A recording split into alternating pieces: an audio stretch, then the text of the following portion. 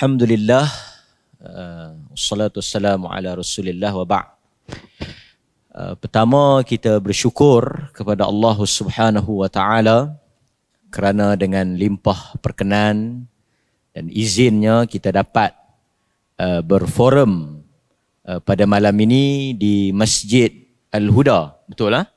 Uh, Nurul Huda uh, uh, Felda Cuping uh, Yang mana dibawakan khas Uh, bersempena dengan program Ihya Masjid dengan kerjasama daripada kerajaan negeri, Jabatan Mufti dan seluruh uh, pihak yang terlibat. Uh, saya tidak lupakan juga kepada Tuan Imam Al-Fadhil Ustaz Fitri dan juga yang berbicara sebentar tadi. Ini baru betul orang sebut penghulu. penghulu Reswan. Tuan penghulu, ha? Ah, sebenarnya dia sebut kata ah, kami ini terkenal ah, di Malaysia. Yang tu memang tak dinafikan lagi lah. Kan? memang terkenal satu Malaysia kan. Tapi sebenarnya beliau juga lebih terkenal daripada kami. Siapa yang tak kenal saudara penghulu Reswan ketika PKP. Satu Malaysia tertanya-tanya siapakah manusia yang begitu kuat jekahnya. kan? Jadi kalau tuan-tuan masih ingat nah, individu yang heboh satu Malaya yang begitu tegas menjaga manusia ketika PKP uh, ah, beliau lah kan? Viral tu kan? Lari masuk rumah habis. Jadi saya nak bercakap pun takut dia jekah kan? Uh, oleh kerana saya moderator jadi beliau tak boleh jekah lah kan? Uh, saya nak jekah lah ni. Okey Uh, Alhamdulillah uh, saya bersyukur diberi peluang pada malam ini untuk mengendalikan uh, forum. Walaupun uh, kita mungkin agak uh, terlewat uh, tajuknya berkaitan merdekakah kita tapi tajuk berkaitan merdeka ini sangat relevan sepanjang masa. Bukan sahaja merdeka dari sudut penjajahan tapi kita akan kupas insya-Allah dari sudut yang lebih luas yang berhubung dengan kita sebagai uh, bangsa Melayu, umat Islam dan rakyat Malaysia secara amnya. Uh, tidak ingin membuang masa dan tidak ingin melengahkan program, saya akan terus uh, kepada soalan-soalan yang telah saya sediakan. Nak diperkenalkan, sudah terkenal dan sudah diperkenalkan oleh penghulu resuan tadi. Di sebelah kiri saya, Samahatul Mufti, Uh, Datuk Dr. Muhammad Asri, Mufti Perlis uh, dan di sebelah beliau uh, tidak asing juga untuk kita sahibul fadilah rektor KUIPS Kolej Universiti Islam Perlis yang akan membicarakan tajuk merdekakah kita pada malam ini. Alhamdulillah kehadiran juga ramai. saya rasa habis turunlah seluruh warga Felda. seluruh warga Felda dan luar daripada Felda. Baik.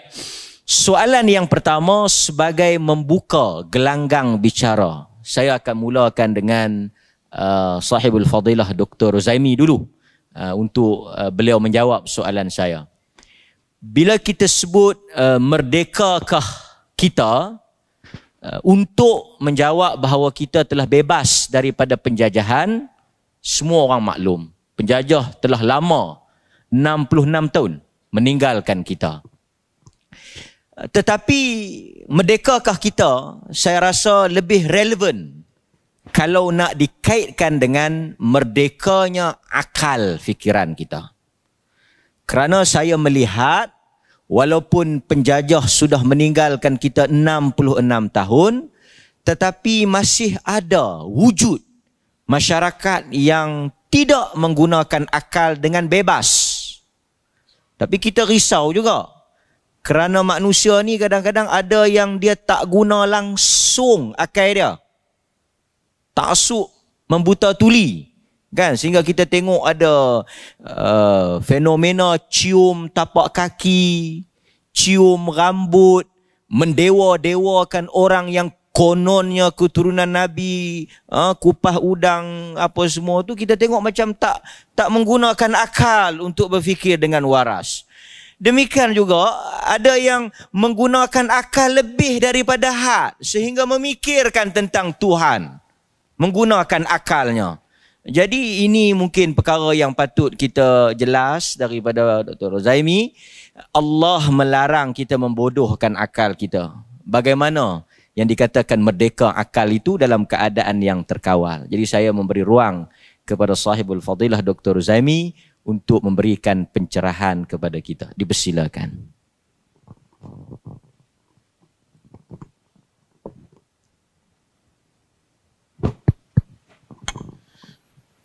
Assalamualaikum warahmatullahi wabarakatuh. Alhamdulillah wassalatu wassalamu ala Rasulillah wa ala alihi wa sahbihi wa man wala. Illallah wahdahu la sharika lah wa ashhadu anna Muhammadan abduhu wa rasuluh. Allahumma salli wa sallim ala Muhammad wa ala alihi wa sahbihi ajma'in amma ba'd. Terima kasih kepada Ustaz Mak Rizal selaku moderator pada malam ini uh, Sahib Usamaha Mufti Perlis uh, Datuk Arif Perkasa Profesor Dr. Muhammad Asri Zainul Abidin uh, Ahli panel bersama pada malam ini Ahli Jutan Kuasa Masjid Ustaz-ustaz, hadirin hadirat, mukminin dan mukminat yang dirahmati oleh Allah Subhanahu wa taala sekalian. Alhamdulillah kita syukur kepada Allah Subhanahu wa taala kerana dapat kita berhimpun pada malam ini. Berbicara tentang merdeka dan juga akal merdeka biasanya sinonim dengan kebebasan.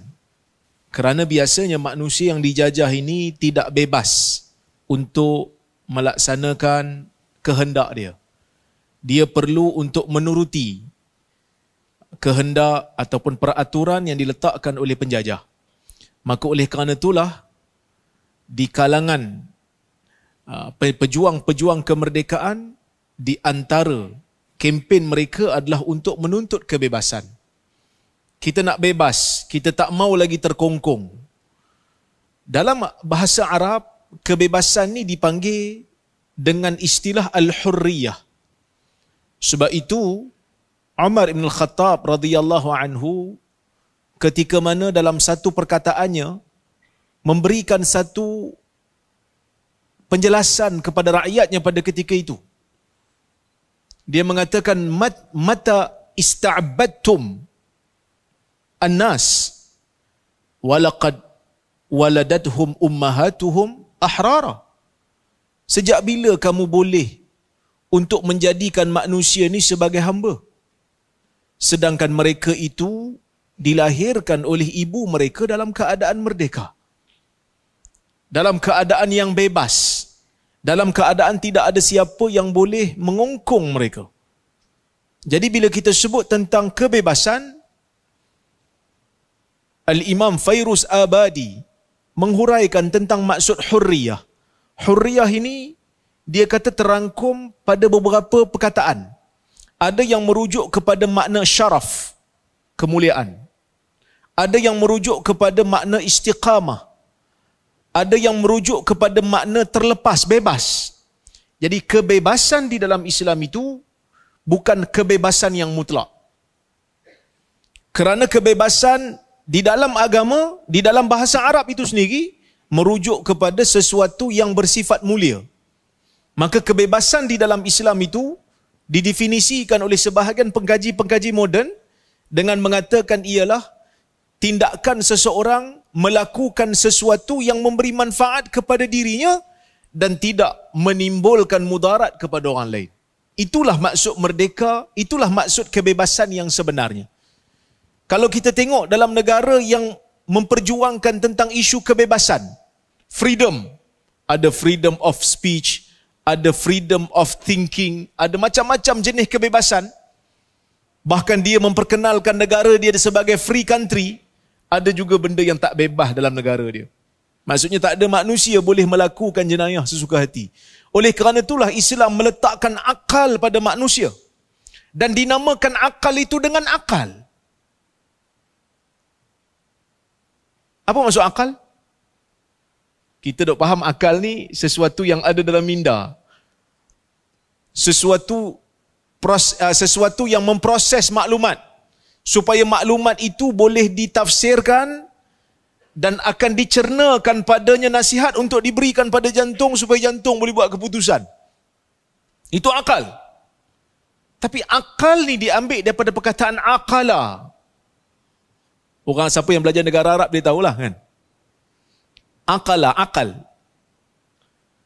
Uh, orang Arab dia selalu pakai shimah yang apa? Serban tu. Letak atas kepala. Lepas tu dia pakai benda bulat tu. Benda bulat tu dia panggil apa? Ha? Iqal. Ha, bahasa-bahasa bahasa pasar dipanggil igal lah kan? Tapi sebenarnya iqal. Sebenarnya yang letak atas kepala tu itulah yang diletakkan di lutut unta orang Arab zaman dulu bila nak berjalan dia pakai unta bila nak musafir dia pakai unta jadi bila unta, bila dia duduk rehat, unta tu pun kena rehat. Unta ni kena ikat. Kalau unta ni tak ikat, tak diikat, dia akan dia akan lari pelan-pelan. Jadi cara dia nak bagi unta tu tak boleh bangun, dia letakkan benda tu di lutut unta. Bila lutut tu terlipat, jadi dia letakkan tali bulat tu, unta tak boleh bangun. Jadi bila dia nak berjalan balik, dia, dia ambil lah. Tak tahu nak letak kat mana, senang cerita, letak atas kepala. Ha, tu orang Arab zaman dulu lah. Akhirnya apa ni, pakaian tu menjadi pakaian rasmi orang Arab terutamanya di bahagian Khalij lah. Di bahagian teluk. Okey. Benda tu dipanggil iqal. Kenapa dipanggil iqal? Kerana dia menghalang. Dia menghalang unta daripada bangun dan lari. Dan akal dipanggil sebagai akal kerana akal inilah yang menahan manusia daripada melakukan perkara yang tak dibenarkan oleh syarak, yang dipandang hina oleh masyarakat, yang tak boleh diterima oleh uh, mana-mana pemerintahan. Maka akal akan menjadikan manusia itu manusia itu sempurna, ada pertimbangan. Sebab akal akan suruh kita fikir, benda ni aku buat sesuai ke tak sesuai. Jadi kebebasan ini, walaupun macam-macam orang tafsirkan kebebasan ni. Kan bila Sampai je merdeka macam-macam orang tafsirkan kebebasan. Nak bebas itu, nak bebas ini, macam-macam. Kan? Tapi kebebasan itu bukan kebebasan yang mutlak. Walaupun ada yang baru bebas 47 pertuduhan. 47? Tapi kebebasan itu tidak mutlak dalam agama. Kerana dia dipandu oleh akal. Dan akal itu pada agama ada limitasinya. Betul, agama suruh kita menggunakan akal.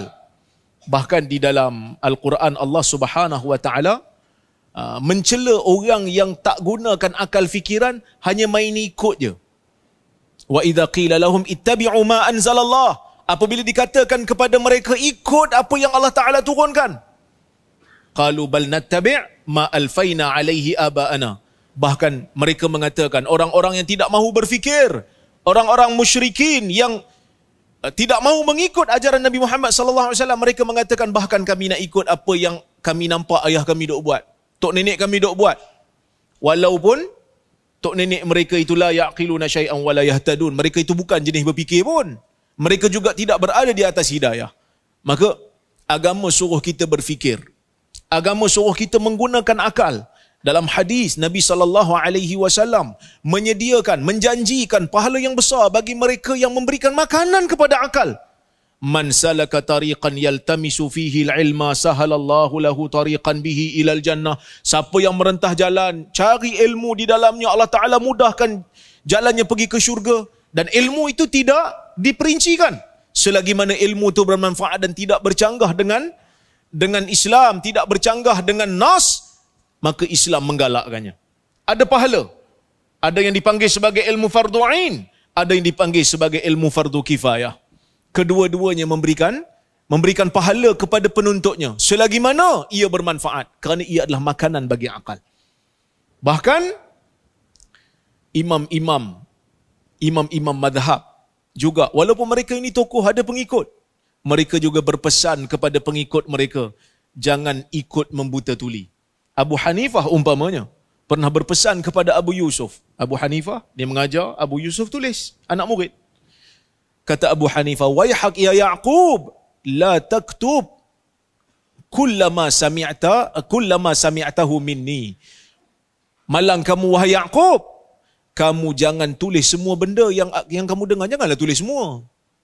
Kerana mungkin aku sebut perkataan hari ini, esok aku tukar. Imam Malik umpamanya, siap bagi tahu kepada pengikutnya. kullu ahadin yu'khadhu min kalamihi wa yurad illa sahib hadzal qabr. Semua orang perkataannya boleh diambil dan boleh ditolak. Melainkan orang yang berada di kubur ini iaitu Nabi Muhammad sallallahu alaihi wasallam. Imam Syafi'i juga berpesan kepada pengikutnya dengan pesanan yang lebih kurang sama. Ya, yang mana eh, kata Imam Syafi'i setiap daripada pandanganku wa hadis Rasulullah wa hadis Rasulullah sallallahu alaihi wasallam khilafu qawli mimma yasih wa hadis Rasulullah sallallahu alaihi wasallam aula wala tuqalliduni kata Imam Syafi'i kalau ada perkataanku yang bercanggah dengan hadis Nabi SAW sedangkan hadis itu sahih hadis itu lebih sahih daripada perkataanku. Kamu jangan ikut aku. Maksudnya imam-imam mazhab ni suruh juga kita berfikir. Kerana memandulkan akal adalah penyebab kepada berlakunya kekufuran. Ini yang berlaku kepada masyarakat Arab zaman dulu. Ketika mana Amr bin Luhai ketika mana Amr bin Luhai pergi ke negara Syam. Masa tu orang Arab tak menyembah berhala lagi. Tapi bila dia pergi ke negara Syam, dia tengok orang-orang Syam mula menyembah berhala, dia bawa berhala tu masuk ke dalam negara Arab. Akhirnya mereka sembah bersama-sama. Sebab itu Nabi SAW menyebutkan, Ra'aitu Amr bin Luhai yajurru qasbahu finnar. Atau kamakal, aku melihat Amr bin Luhai itu menarik isi perutnya dalam neraka. Kerana dia adalah orang yang pertama membawa syirik ke dalam semenanjung Arab. Kerana mereka tidak mahu berfikir dengan akal mereka yang waras. Hadirin mukminin yang dirahmati oleh Allah Subhanahu wa taala sekalian, Islam suruh kita menggunakan akal fikiran, betul. Tetapi akal fikiran yang Islam suruh kita guna ni bukanlah mutlak bebasnya. Kerana akal ni ada kemampuan dia. Akal ni ada kemampuan yang kita kena sedar dan kita kena tahu. Bahkan di dalam hadis Nabi sallallahu alaihi wasallam tidak membenarkan kita ni memikirkan tentang perkara-perkara yang di luar kemampuan kita. Kan? Ada benda yang kita boleh fikir, kita disuruh fikir. Ada benda yang kita tak mampu fikir, maka kita tak, janganlah fikir. Golongan-golongan awal yang terlalu banyak menggunakan akal fikiran mereka adalah golongan Mu'tazilah. Mu'tazilah pakai akal maksimum. Sampai benda-benda gaib pun dia nak pakai akal. Maka apa saja yang bercanggah dengan akal dia, dia tak boleh terima. Maka mereka menolak azab kubur. Sebab apa? Sebab dia kata macam tak logik pada akal. Sedangkan azab kubur ni, benda yang gaib. Benda yang akal tak mampu fikir. Mereka menolak tentang riwayat-riwayat yang menceritakan tentang kita akan melihat Allah di hari kiamat. Kerana menurut akal mereka, bila nak tengok Allah, proses melihat perlu ada jarak, perlu ada cahaya, perlu ada arah. Jadi mereka tolak. Mereka takwil. Ila rabbiha muntazirah. Ayat yang kata ila rabbiha nazirah, dia takwil kepada muntazirah. Menunggu balasan daripada Tuhan mereka. Bukannya melihat. Bukan melihat kepada Tuhan. Sedangkan hadis Nabi SAW jelas mentafsirkan ayat Quran yang mengatakan kita akan melihat Tuhan innakum satarawna rabbakum yaumal qiyamah kama tarawna al-qamar lailatul badr. Kamu akan tengok Tuhan kamu di hari kiamat macam mana kamu tengok bulan purnama. Macam itulah kamu akan tengok Tuhan dari sudut jel jelasnya. Wala tudammuna fi ru'yati. Kamu tak berebut untuk melihatnya. Kamu akan tengok pakat seorang seorang sama je. Tengok jelas. Tapi mereka menggunakan akal fikiran maksimum sehingga sehingga mereka tersesat dan menolak hadis-hadis yang sahih sedangkan hadis dalam masalah melihat Tuhan ni sampai kepada hadis mutawatir bahkan ayat Quran menyebutkan dengan jelas maka kita sebagai ahli sunnah wal jamaah kita kena sedar dalam perkara-perkara yang gaib kita hanya terima Allah Azza wa Jalla turunkan Quran. Suruh kita fikir tentang kebesaran Allah. Betul? Allah Ta'ala suruh kita fikir perjalanan alam ni Tuhan suruh tengok. Tengok dalam diri kita keajaiban-keajaiban anggota yang Allah Ta'ala sediakan. Rasa kebesaran Tuhan. rasa tentang kewujudan dan kebijaksanaan Tuhan. Tapi benda-benda tentang sifat Tuhan, bukan Tuhan suruh fikir, Tuhan suruh beriman. Bahkan yang menyedihkan kita kadang-kadang, ada sebahagian daripada kawan-kawan kita buat main-main pula. Dia kata, bila hadis Nabi SAW kata Tuhan turun ke langit dunia, turun tu macam mana? Kalau Tuhan turun, aras kosong ke? La ilaha illallah. Nabi SAW sebut begitu, kita terima je lah. Macam mana, macam mana tu kita tak tahu. Yang disuruh kita bangun malam. Tapi ada golongan manusia dia tak nak bangun malam tu, tak nak bincang pasal bangun malam tu. Dia pergi bincang, aras kosong ke tak kosong. Dia ingat Tuhan ni macam mana? Sebab itu Ibn Rajab kata, kalau, kalau ada orang tanya soalan macam ni, tak layak dijawab pun. Kalau zaman Omar, dia ni layak untuk di, dia ambil tindakannya, dipukul dia oleh pemerintah. Dia ambil tindakan, mungkin dipenjara oleh pemerintah. Kerana pada zaman itu ketika mana Nabi SAW membicarakan tentang hadis ni, tak ada sahabat pun yang tanya, Ya Rasulullah, macam mana turun tu? Aras kosong ke tidak masa Tuhan turun tu? Masuk ke dalam alam ke tidak? Bersatu dengan alam ke tidak? Dah dunia ni bulat. Dunia ni kan bulat. Pusing, satu per tiga malam kat sini, lepas habis kat sini kat sana pula. Habis tu Tuhan tak tak naik-naik ke? Ini semua perkara-perkara yang akal tak mampu fikir. Akal tak mampu fikir, maka kita tak perlu fikir. Ini yang pertama. Yang kedua, kebebasan akal jangan sampai kepada bercanggah dengan perkara-perkara yang dipanggil sebagai menyanggahi nas-nas agama. Nas agama yang jelas, yang sahih kita terima. Hari ini ada golongan-golongan yang dipanggil sebagai golongan liberal dan sebagainya, Islam liberal dan sebagainya. Kadang-kadang mereka berfikir mereka kata ini berfikir di luar kotak. Tapi sebenarnya berfikir jauh daripada kotak. Kita suruh berfikir luar kotak. Dia pergi fikir jauh daripada kotak. Kotak pun tak ada. Bukan kotak pun tak ada, otak pun tak ada. Macam-macam macam-macam tomahan yang diberikan. Bercanggah eh, tafsiran-tafsiran mereka bercanggah dengan nas-nas agama. Bahkan kadang-kadang sampai mereka fikir di luar daripada musallamat, bercanggah dengan musallamat benda yang di benda yang diterima oleh dunia selama ini sebagai benar mereka cuba nak nak, nak menyanggahinya kalau tuan-tuan tengok dekat negara kita mungkin tak tak muncul lagi lah kalau orang tanya lelaki tu apa perempuan tu apa tuan-tuan boleh jawab tak? Boleh jawab kalau orang tanya kita lelaki tu apa perempuan tu apa boleh jawab tak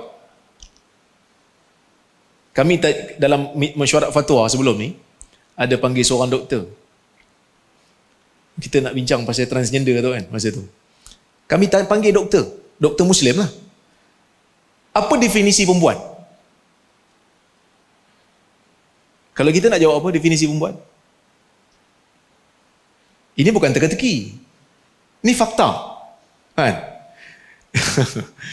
dia pun jawab, dia kata kalau dari segi perubatan, amalan perubatan, perempuan ni kromosom dia XX dia ada rahim dan dia ada kemaluan perempuan maka dia perempuan lah betul tak? ke tak setuju? takkan tak setuju kan setuju lah kan kalau lelaki yang ada kromosom XY lelaki lah dan dia ada kemaluan lelaki tu maka dia lelaki kalau tuan-tuan pergi kat barat hari ni tafsiran tu tak diterima dah mereka ubah kamus apa itu lelaki, apa itu perempuan? Boleh tukar. Dan hari ini, di barat, jantina bagi kanak-kanak telah dibuang. Kerana orang boleh pilih jantina dia. Apa lelaki? Lelaki apabila dia rasa dia lelaki, maka dia lelaki. Dia declare dia lelaki, maka dia lelaki. Sebab dia nak masukkan transgender tu. Apa perempuan? Bila dia nak rasa dia perempuan, maka dia perempuan bercanggah dengan musallamat dan mereka kata ini termasuk di dalam kebebasan berfikir dan bersuara dan Islam tidak benarkan kerana kebebasan ini menyanggahi menyanggahi musallamat benda yang telah dipercayai oleh zaman dulu kita kata kalau betul dia perempuan kenapa dia tak boleh nak mengandung kenapa dia tak boleh nak haid dia kata ada je perempuan tak boleh nak mengandung kita kata asal perempuan boleh bila tak boleh maka ada something wrong you asal boleh ke tak boleh Dia lelaki, lepas tu dia nak jadi perempuan.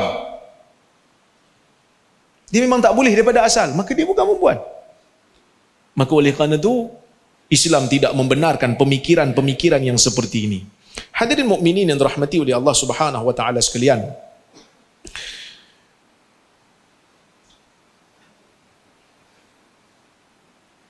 Kebebasan fikiran sebenarnya membawa kebaikan. Kebebasan berfikir ini membawa kebaikan. Maka sebab itu Nabi sallallahu alaihi wasallam membenarkan per khilaf ataupun perbezaan pendapat berlaku di zaman baginda dalam masalah-masalah yang dibenarkan. Jadi pastikan apabila kita nak menggunakan akal fikiran, nak menjadi manusia yang bebas, bebas itu adalah bebas yang dikawal oleh syariat. Tidak ada manusia boleh bebas selama-lamanya, tak boleh. Cuma bila kita nak menjadi bebas, dalam erti kata bebas dengan kita mengikut kehendak Allah dan kehendak Rasulullah sallallahu alaihi wasallam. Maka itulah bebas yang sebenarnya. Demikian yang disebut oleh uh, Rib'i bin Amir Allahu bata'athana linukhrija man sya'a min ibadatil ibad ila ibadatillahi wahdah. Kami datang Allah yang hantar kami untuk mengeluarkan manusia daripada menyembah hamba kepada menyembah Allah. Meletakkan kehendak Allah dan kehendak Rasul dan kehendak agama itu di depan kita. Kalau kita keluar daripada batasan ini, maka kita rasa kita bebas tapi sebenarnya kita telah menjadikan kita hamba kepada syaitan hamba kepada kepada nafsu kita. Wallahu taala alam bisawab. Alhamdulillah kita telah mendengar pencerahan yang saya rasa sangat jelas dan tidak lagi memerlukan untuk saya memberikan ulasan tambahan. Dan saya mengharapkan tuan-tuan yang jelas kelakian dan kewanitaan dapat memahami lah. Melainkan tuan-tuan pun kelabu juga tak ketahuan. Yang mana lelaki, yang mana perempuan. Kan? Baik, sebelum saya nak pergi kepada soalan yang ingin saya ajukan kepada sahibus samahah mufti, juga masih berkisar berkaitan dengan cara fikir. Kerana ini yang akan mengekalkan kemerdekaan. Saya nak quote kata-kata dan tulisan yang disebut oleh Samahatul Mufti. Kerana apabila saya membaca dan tuan-tuan juga membaca tulisan-tulisan Sahibus Samahah, ni bukan nak puji kerana kalau tak puji pun memang saya dah baik dah. Di tuan-tuan tak payah rasa ni puji ni ada makna tak perlu puji dah. Kan? Ha.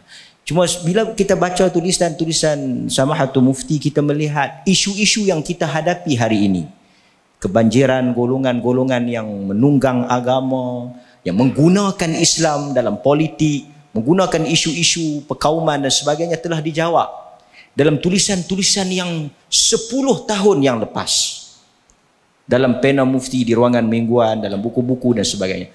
Cuma saya tertarik untuk kita sebut dalam hal ini apabila sahib bersama menulis pada hari saya dijemput ke Perlis untuk menjadi mufti ini kali pertama. Kemudian kali kedua. Piramli kata takat tiga kali saja. Okey. Hmm. Pada hari saya dijemput ke Perlis untuk menjadi mufti, saya berfikir panjang. Apakah yang mampu untuk saya lakukan mengenai perubahan kefahaman dan minda rakyat? Mampukah saya menghadapi corak warna yang sukar diubah yang menguasai suasana? Dan dalam tulisan yang panjang tu di hujungnya Datuk menyebut mengubah bukit dan gunung lebih mudah daripada kita mengubah cara manusia berfikir. Tuan-tuan di Felda ni saya ingat dulu hutan kita tebang, kita kita cerahkan, kita jadi Felda. Tak ada siapa bantah, tak ada siapa kerana kita berurusan dengan pokok, berurusan dengan alam. Tapi di Perlis alhamdulillah Manusia tak akan hidup dengan cerita-cerita ajaib ni. Manusia tak akan hidup dengan keramat-keramat ni. Tapi manusia hidup dengan cara berfikir. Sebab itu di Perlis, Bomo tak mendapat tempat, cerita karut tak mendapat tempat. Dan orang Perlis sentiasa berfikir dengan matang dan waras. Jadi saya minta saya bersama untuk memberikan juga pencerahan tentang sebab kita nampak macam ada satu putaran balik apa yang kita hadapi sekarang ni macam satu putaran kembali pada masalah yang lalu yang melanda masyarakat kita. Dipersilakan sahib bersama. Assalamualaikum warahmatullahi wabarakatuh. Alhamdulillah wassalatu wassalamu ala Rasulillah wa ba'd. Kasihi Fadil Ustaz Mariza sebagai pengurusi Fadilatul Syekh Dr. Profesor Dr. Zaimi Tok Pengulu Rizwan Saya Pengulu Rizwan panggil dua tiga kali ni nak kena pergi ya. Itu masjid ni pula Masjid yang masak gulai pandai Jadi Macam mana tu Imam Ya, terima kasih kepada penduduk sini dan uh, hadirin penonton juga.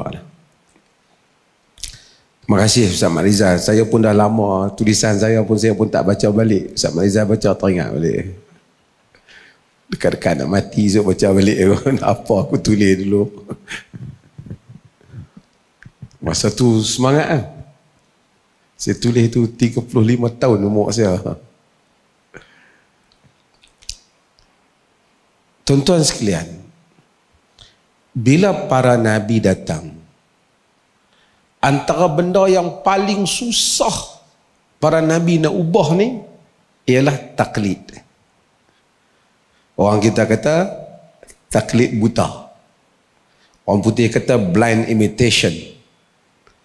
Ikut tanpa mau tahu sebab. Pasal apa? Dah, dah kami lama dah buat dah. Tadi Dr. Zaimi baca surah Maidah. Wa idza qila lahum ta'alu ila ma anzalallah wa ila wa ila rasul qalu hasbuna ma wajadna alaihi aba'ana awalau kana aba'u awalau kana aba'uhum la ya'lamuna syai'a wa la yahtadun Apabila dikata pada mereka, mai kita ikut apa yang Allah turunkan dan ikut Rasul. Qalu hasbuna ma wajadna alaihi aba ana. Maka kata cukuplah apa yang kami duk tengok mak bapak kami dah buat, buat dah.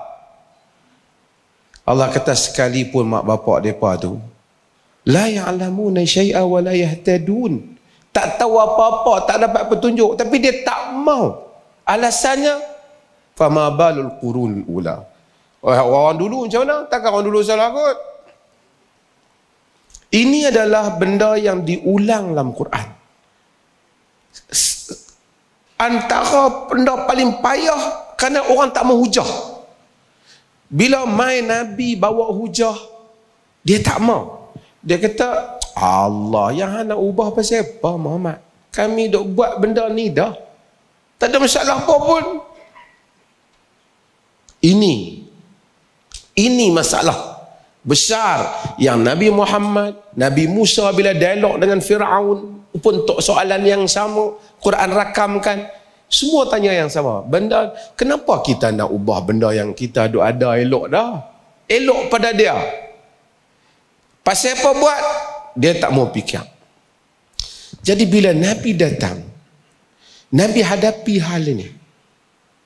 Nabi orang jahiliah sama Orang jahiliah bukan tak bijak. Bijak. Duraid bin Al-Summah. Duraid bin Summah. Cerdik penyair yang bagus. Siapa mengaji dalam dalam dalam sastra Arab akan mengaji syair-syair Duraid. Mati dalam perang Hunain. Orang cerdik. Tapi bab ni dia tak boleh pergi. Wahal ana illa min Ghuzayyah. In ghawat ghawaitu wa in tarshudu ghuzayyatun arshudu. Dia kata dalam ada wahal ana illa min ghuzayyah. Aku tak lebih daripada kaumku. Jika mereka sesat aku pun sesat. Kalau depa dapat petunjuk aku pun dapat petunjuk. Aku kira ikut depa sebahagian para pencinta syair jahiliyah membela Durai dan kata Durai syair dia ada dimensi dah durai tujuan dia ialah untuk kata kita ikut majoriti. Tapi durai tahu sesat tapi sesat pun dah geng kita. Ha? macam mana tak mulu sesat pun geng kita Nak buat macam mana? Kita sokong jugalah. Wa hal ana illa min ghuzayyatin. In ghawat ghawaitu wa in tarshudu ghuzayyatun arshudu. Bila Nabi datang hadapi ni, Nabi terpaksa betulkan dimensi ni. Dia nak betul macam mana? Manusia ni ada lapisan dalam masyarakat ni. Ada hak jenis cerdik sikit. Antara ramai-ramai kita ni bukan standard cerdik dia sama. Yang cerdik sikit ni dia bahasa pun pandai sikit macam Ustaz Mariza tentu cerdik sikit. Maksud cerdik banyak lah tapi dibandingkan hak lain dia lebih lah. Kan? Little bit more. Kan? Jadi dia cerdik sikit. Tentu hak mana kurang cerdik sikit tu kata hm, aku kira pakai ikut lah mereka betul ke mereka kata orang tu? Hmm, betul tak betul. Kita kira ikut mereka mereka orang pandai. Agama asalnya tak setuju hal ni. Agama tak mau macam ni. Agama mari supaya kita berfikir. Wala taqfu ma laysa laka bi'ilm. Inna sam'a wal basara wal fuada kullu ulaika kana anhu mas'ula. Jangan kamu ikut apa yang kamu tidak ada ilmu pengetahuan mengenainya kerana pendengaran kamu, pelihatan kamu, jiwa kamu, kesemuanya ditanya di akhirat kelak. Jam, mereka tak mau juga. Macam mana? Nabi kena nak bagi start dia fikir, betul ke kita duk buat ni? Betul ke? Selama ni, bunuh anak perempuan. Bunuh anak perempuan. Wa idhal mau'udatu su'ilat bi'ai dhanbin kutilat. Apabila anak yang dibunuh, anak perempuan yang bunuh itu ditanya, di atas dosa apa mereka dibunuh? Logik pun fikir apa siapa yang nak pergi bunuh. Tapi oleh kerana benda tu dah berjalan dalam masyarakat. Kita ikutnya lah. Bila Nabi datang. Nabi nak main betulkan hal ni. Padahal Nabi ni orang yang well respected. Orang yang dihormati lah masyarakat dia. Nabi mula-mula siapa yang belajar dalam sirah Nabi kan naik di bukit sofa Nabi kata apa? Ha? Wasa Wasabaha kan? Oh selamat macam mana? Hoi sekalian tapi biasanya dikata pada waktu pagi kan? Kan? Jadi orang kata ma malak ha, malak apa siapa kau panggil kan? Habis orang berimpun main-main kat Nabi. Kan? Nabi kata ara'aitum in sabbahakum au ha? in usabbihukum au umassikum. Kalau aku bagi tahu kamu bahwasanya anna aduan. Uh, apa? Ara'aitum. Jika kamu apa pendapat kamu jika sekiranya musuh sedang bersiap untuk menyerang kamu? Ama kuntum tusaddiquni? Kamu akan katakan aku benar atau tak? Dia kata, bala, kamu benar. Nabi kata, Inni lakum nadhirun baina yaday azabin syadid. Aku adalah pemberi khabar, pemberi amaran kepada kamu tentang azab yang pedih. Selama ni mereka percaya kat Nabi. Hajarul Aswad tu mereka bagi kat Nabi untuk perbetulkan perbalahan di kalangan mereka. Bila Nabi bagi tahu kata Nabi bawa risalah, depa tahu dah depa dah dengar dah cerita ni ni. Pasal siapa mula tolak dulu? Abu Lahab kata apa? Tabban laka ya Muhammad ali hadza jama'tana.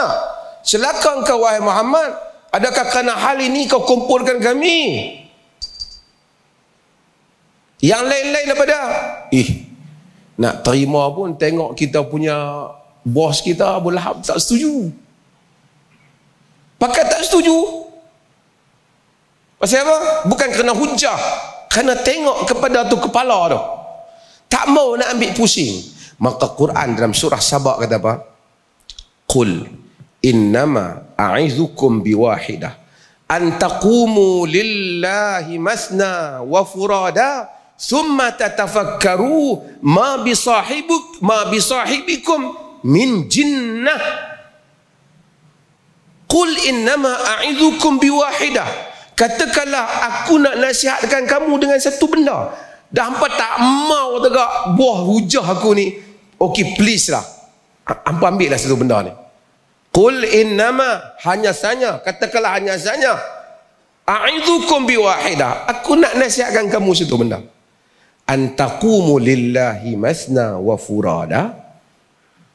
Kamu berdiri Takumu ni saya berdiri. Maksud kamu berdiri ni maksud kamu sungguh-sungguh kerana Allah secara berdua kut dah tak larat nak fikir seorang hampa jenis otak lembab kan ajak pakat member hak boleh bantu antaqumu lillahi masna wa furada ataupun seorang-seorang summa tatafakkaru kemudian hampa tolong fikir sat Tu kata agama ni mengajar mengajak apa? Kepada ber berfikir. Tolong fikir. Ma bi sahibikum min jinnah. Tidak ada pada kawan hampa ni, sahabat hampa yang ni Nabi kita Muhammad daripada penyakit gila. In huwa illa nadhirul lakum baina yadai azabin syadid. Hanya saja dia adalah pemberi amaran kepada kamu di hadapan kamu azab yang dahsyat. Agama ajak berfikir. Nak membolehkan orang fikir ni payah. Terutama kadang-kadang orang tu bukan tak tahu betul dan salah. Dia tahu. Dia ada jawatan. Geng-geng atas payah siapa yang sokong Nabi masa awal-awal orang muda orang yang tak ada kepentingan sangat dia pun ni mula sokong Nabi SAW Nabi nak betulkan, Nabi bukan datang supaya orang Arab daripada tak pakai jubah, pakai jubah. Orang Arab dah pakai jubah dah. Islam bukan datang nak suruh orang pakai yang tak pakai serban, pakai serban. Abu Jahal pun pakai serban. Islam bukan datang supaya orang yang tak cakap Arab, cakap Arab. Abu Lahab pun cakap Arab. Islam datang nak membetulkan akidah. Ia datang untuk supaya kita cara fikir kita betul. Yang ini cara fikir yang betul ni maksudnya kalau awak pi tempat lain pun awak tengok benda tu awak tahu yang ni salah, yang ni betul. Yang ni syirik, yang ni tauhid. Nabi kena betulkan ni. Contoh. Bila Adi bin Hatim Al-Ta'i dia Kristian. He was a Christian. Dia seorang Kristian. Kemudian masuk Islam dan sebagai riwayat kata dia datang masih lagi sakit tapi sebagai riwayat dia datang dia sudah Islam. Masuk dalam riwayat Tirmizi dan selain. Dia datang pada Nabi. Bila Nabi kata, Nabi baca firman Allah, "Ittakhadhu ahbaruhum wa ruhbanahum arbaban min dunillah." Mereka mengambil pen, pendita-pendita, padri-padri, pendita-pendita, bukan pendeta-pendeta, Ha, bahasa betul sikit. Pendeta-pendeta mereka sebagai Tuhan-Tuhan selain daripada Allah. Oleh kerana Adi bin Hatim Al-Ta'i, dia berpengalaman dengan Kristian. Dia kata, Ya Rasulullah, lam ya'buduhum. Wahai Rasulullah, orang Kristian tak sembah padri.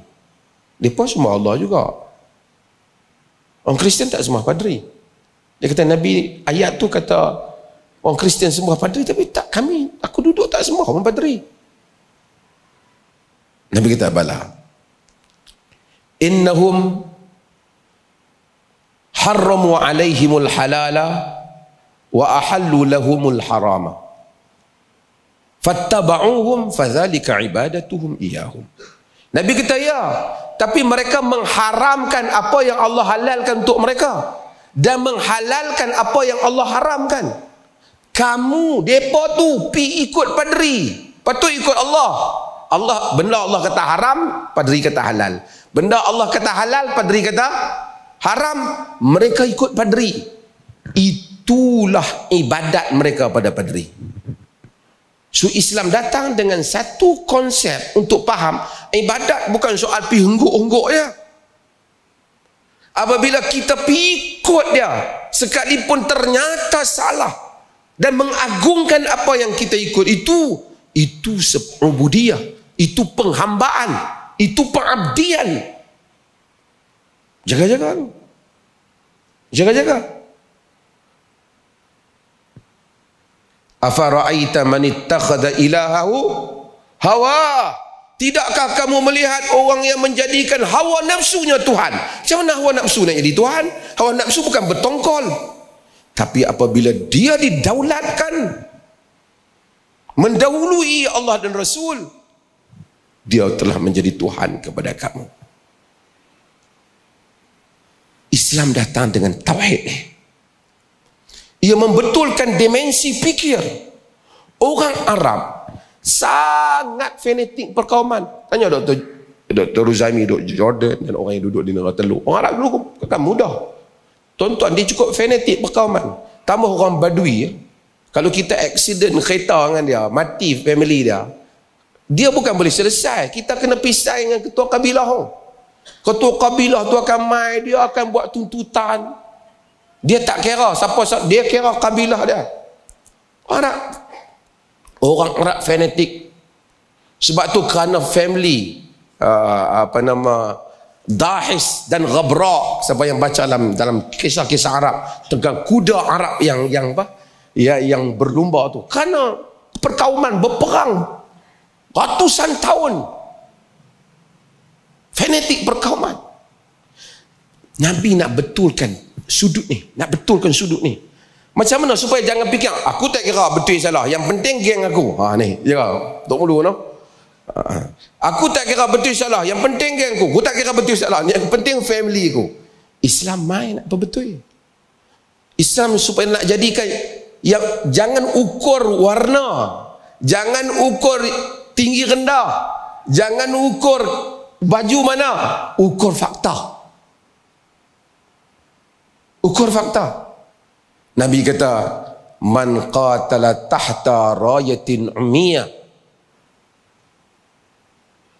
yad'u ila asabatin yansur asabatan faqutil faqitlatun jahiliyah siapa yang berperang nak kata apa Rayatul Imiyah. Mak tu di bawah bendera kebutaan. Yang ni tak tahu apa. Betul salah aku tak mau tahu. Ni yang penting bendera kita. Ha. Yang penting lambang kita. Puak kita. Yaghdabu asabatan. Yaghdabu li asabatin. Wa yad'u ila asabatin. Wa yansur asabatan. Marah pasal puak. Sokong pasal puak perang pasal apa? Fakutil. Dan kemudian mati. Fakitlatun jahiliyah. Mati jahiliyah. Dan Nabi. Ini jaga. Pasal apa yang bersungguh kan? Aku tak tahu betul salah. Aku kira puak kita, kita sokong. Ha? Islam main nak betulkan ni. Membebaskan diri. Itu yang dikatakan kemerdekaan. Sehingga sahabat bebas daripada cengkaman kabilah mereka kepada hanya kepada wahyu Allah Azza wa Jalla. Sehingga itu orang seperti Abu Bakar Siddiq karena mereka semua yakin yang benar Allah dan Rasul. Selain dari Allah Rasul tidak masuk. Bila Abu Bakar Siddiq naik menjadi khalifah, "Wallitu alaikum walastu bi khairikum." فإن أطعت الله ورسوله فأعينوني وإن عصيت الله ورسوله فلا طاعة لي Aku dilantik menjadi pemimpin di kalangan kamu. Aku bukan yang terbaik di kalangan kamu. Jika sekiranya aku taat Allah dan Rasul, sokong aku.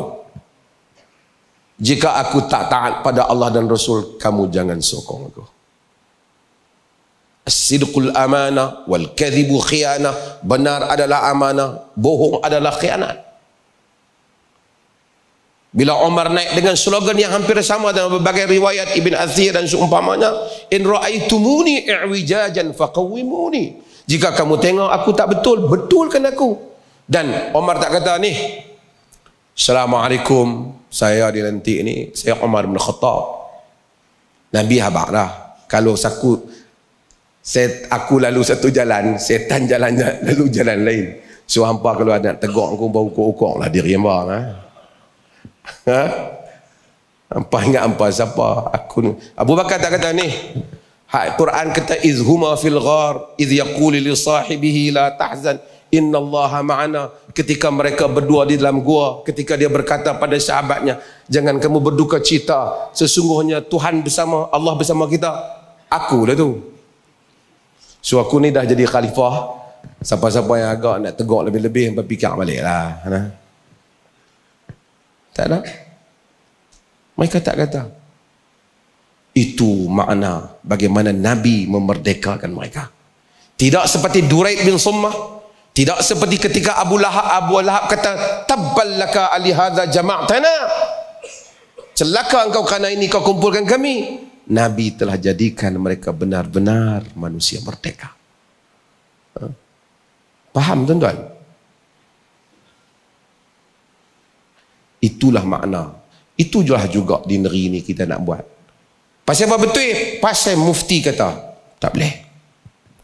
Pasal apa betul? Pasal mufti kata, bagi tahu dalil tu, kita ikut hak dalil Quran. Dan sunnah tu. Bukan kerana mufti, tapi kerana dalil tu. Mufti bukan Tuhan lantik, orang lantik. Manusia yang lantik. Yang tak tentu dah betul Quran dan sunnah. Ini yang kita nak. Imam-imam mazhab dihormati, disanjungi dalam negeri ini. Tapi kenapa tak pegang satu ya? Pasal kita tahu semua mereka boleh berkongsi yang benar itu. Bukan seorang saja yang membolot kebenaran. Yang lain pun mungkin. Jadi kita dengar Imam Syafi'i, Imam Hanafi, Imam Malik, semua kita ambil manfaat. Ha? Sebab itu mudah-mudahan kita semua merdeka di dalam negeri ini. Ini masuk waktu solat ni. Nak bang dulu ha? Azan dulu ha? ah, Tak apalah saya jawab setakat tu dulu Boleh kan? Ah, terima kasih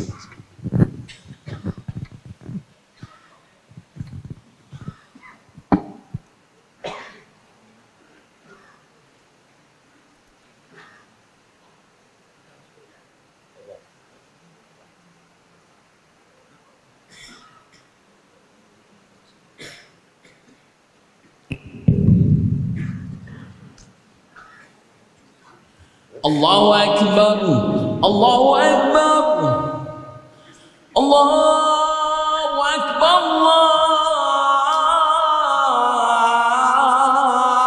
الله أكبر. أشهد أن لا إله إلا الله.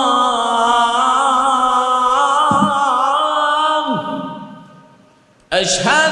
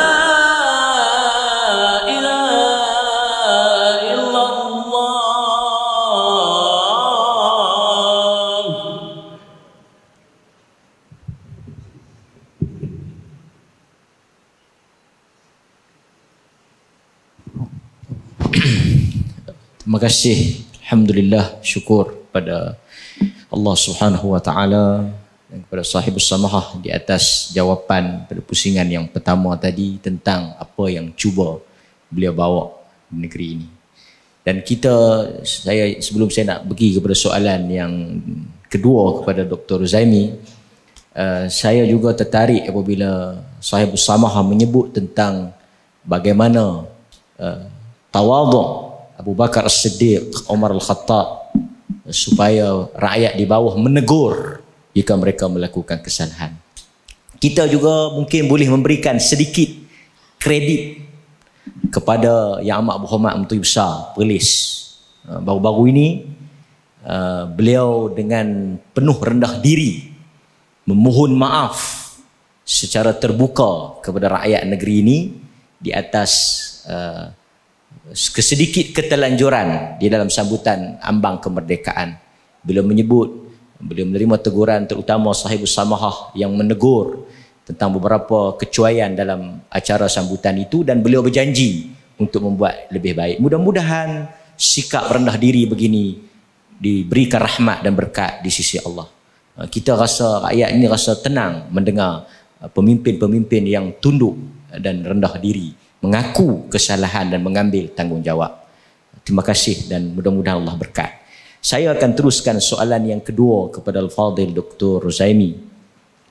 Kita tak dapat lari kemerdekaan negara baru-baru ini dengan suasana yang agak panas tentang polemik hadis 40 yang saya rasa itu mencerminkan sikap sebahagian rakyat Malaysia kerana uh, ada pihak-pihak yang mengkritik secara terbuka uh, tindakan yang akan dibuat oleh Kementerian Pendidikan berhubung dengan pengajaran hadis 40. Walaupun isu hadis 40, isu ini isu Kementerian Pendidikan tapi kita nak kaitkan juga dengan kemerdekaan sikap sebahagian bukan semua uh, yang non muslim dan ada juga yang muslim juga saya tengok mengkritik Uh, terutama hadis-hadis yang berkaitan dengan perang. Dia kata nak ajak orang berperang ke ajak budak 8 tahun berperang dan sebagainya. Macam mana doktor melihat sikap dan bagaimana kita berhadapan dengan isu hadis 40 ni yang saya rasa agak panas dan tidak ada penghujungnya lagi sehari dua ni. Dipersilakan. Bismillahirrahmanirrahim. Berkenaan dengan isu hadis 40 ni sebenarnya um, ramai dah ulas.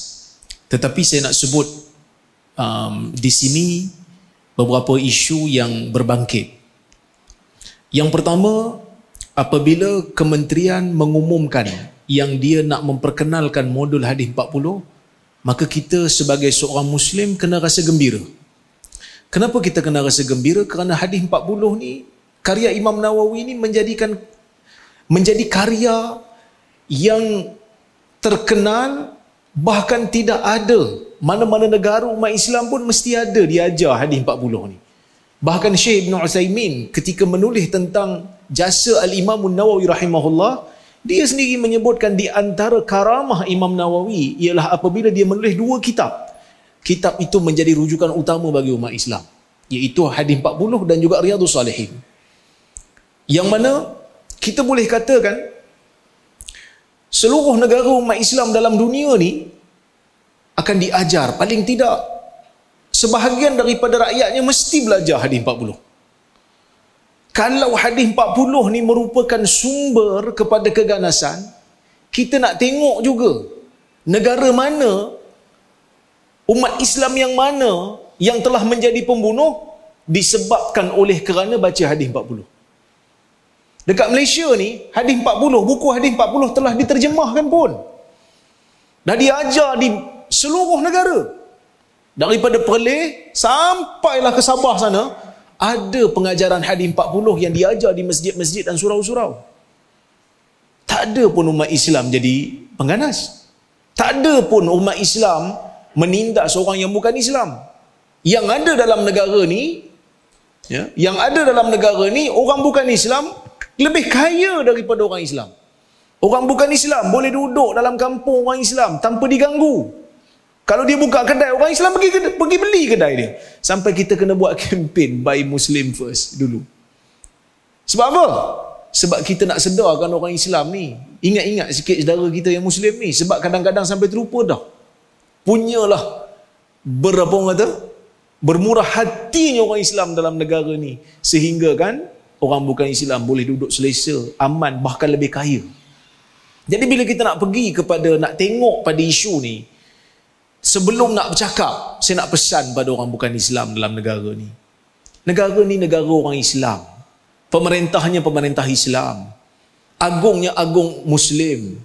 Raja dan sultannya Muslim. Pemerintah terbesar, tertingginya, kebanyakannya Muslim.